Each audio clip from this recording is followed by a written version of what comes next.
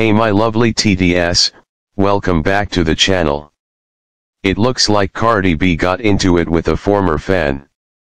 Now this woman's name is Paradise Paris.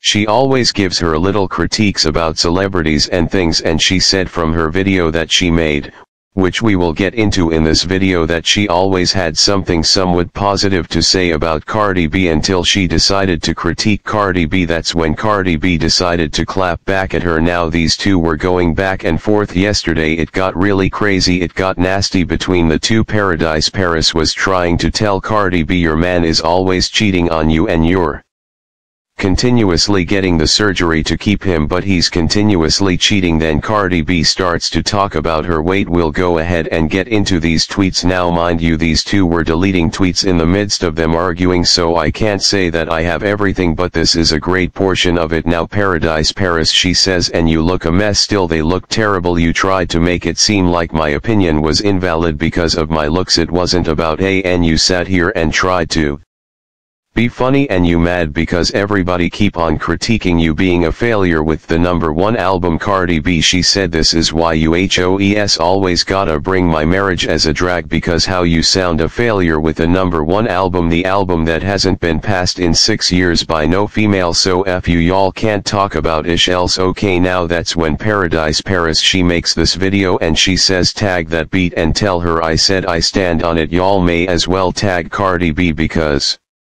I'm gonna give it to her like she thinks she give it up and before y'all start no she came and found my tweet after all the tweets that I was tweeting to praise her and chose that one and she should have stood on it. Now don't delete nothing because I'm just not seeing it and I just woke up and it hit the blogs. Yeah you caught red hand all that back button. You thought she was going behind your button and clearing him for you doing the same thing. Don't don't know where I can hide your hand miss.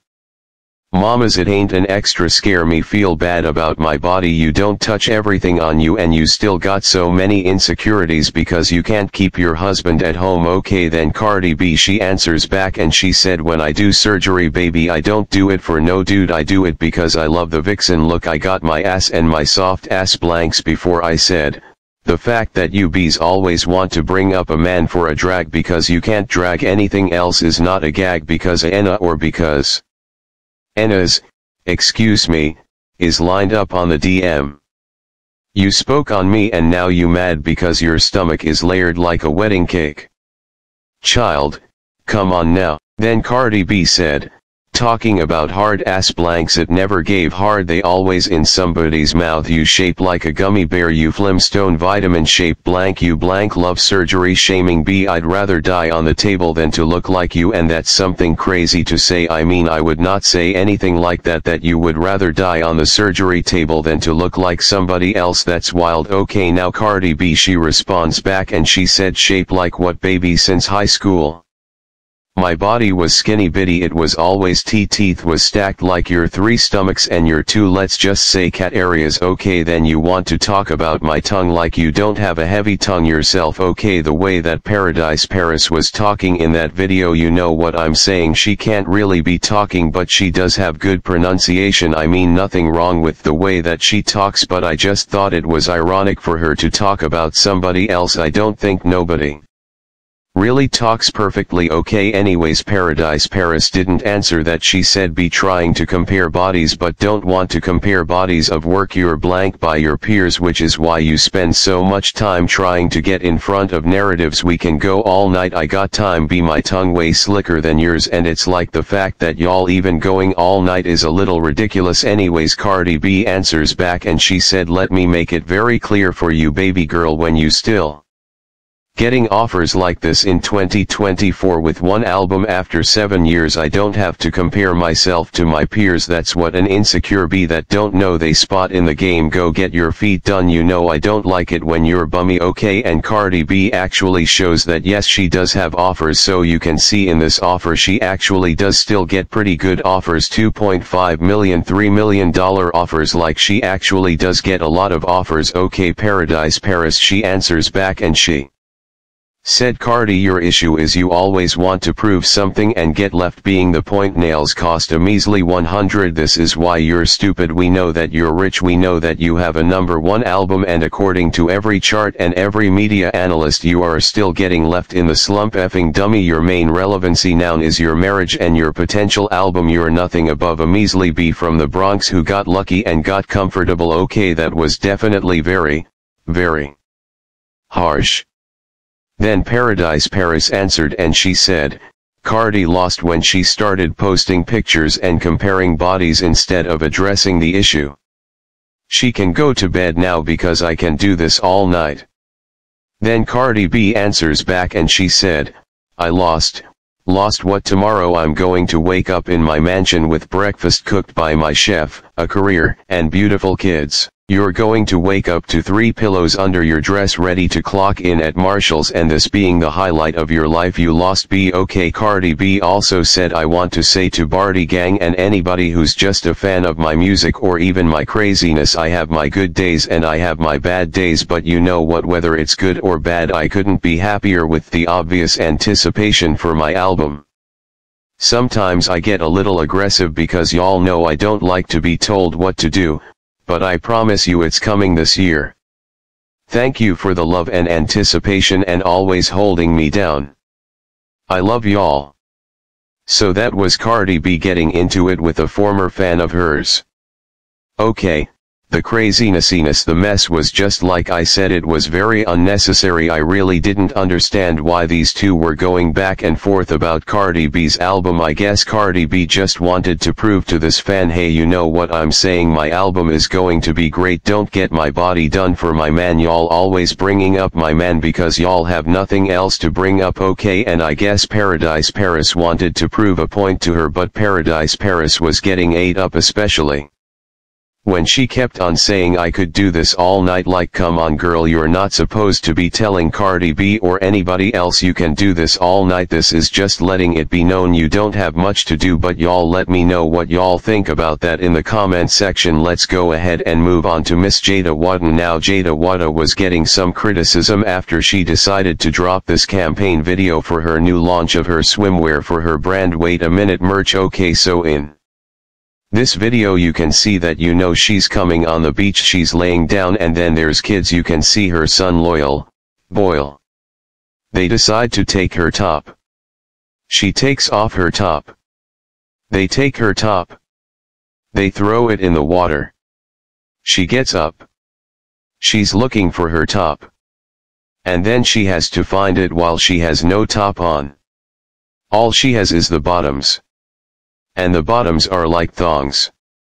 I ain't gonna lie, okay so it seems like her whole body is out.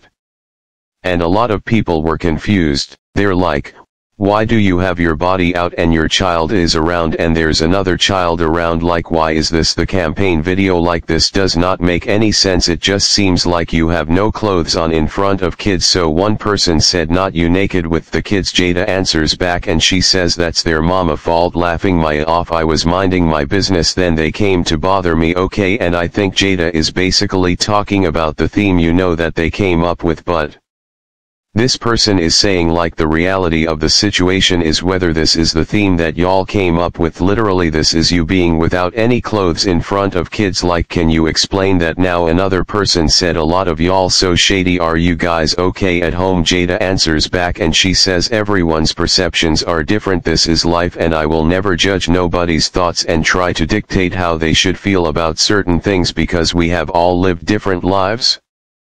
I just want anyone commenting to know it's nothing weird or ill about this video. We acted out to leave a message and promote my latest launch which inspires every woman to feel beautiful fearless and accepted within no matter what. I went through so much to get this summer drop and I am free to launch and carry on this campaign. However I like love y'all too okay now. Another person answers back and they said okay so I get the storyline but my opinion says that you should have put a different Model in the story not yourself only because it comes off a little weird because you're without any clothes in front of your son in this video just my opinion and I guess this person meant to say I love you though now Jayda Wayda answers back to this person.